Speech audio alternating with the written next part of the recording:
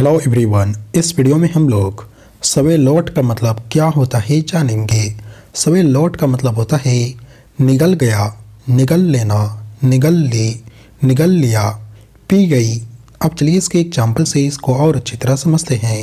First example है, ही सवे लौट, वह निकल गया विदाउट चूइंग बिना चबाए।